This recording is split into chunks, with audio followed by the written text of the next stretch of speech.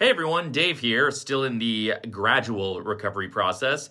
Thank you for bearing with me as I took a month off from new stuff, but rest assured I was working hard behind the scenes on making things, which is why this month we will have a D list as well as not one, but two Riffin' with Doggin shorts. As for my personal recovery, I'm still using the walker and will be for at least a while which means I can't do any of my jobs that actually pay me money, so I know I'm always going hard on plugging the Patreon and the Coffee, Ko-fi, Ko-fi, whatever, but now I'm going really hard on plugging both the Patreon and the Ko-fi.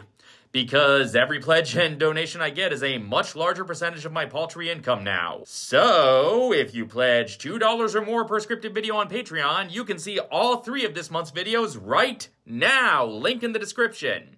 And if you pledge $3 or more, you can listen to every episode of the podcast Ali and I do. It's fun. It's honestly one of my favorite things I do right now, and I'd love for you all to hear it. We just did an episode where we dug into my awkward high school talent show performances, those ones that Agatha was trying to torture me with by getting you to watch. So um, now you can listen to us uh, just discuss the depths of how awkward it was for me to be on stage in high school. Again, link in description. But if you can't commit to an ongoing pledge, you can also buy individual episodes or bundles on Ko-fi.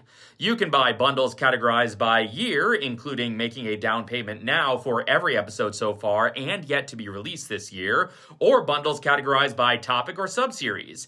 Or I suppose you can also just donate to me there without getting anything in return if you want, but I feel weird asking for money without giving you stuff for it. But even if you can't support me financially right now, I really do appreciate your moral support, and I hope you like the stuff coming your way this month. So see you next week for another Superman adventure, and until then, this is Dave, signing off.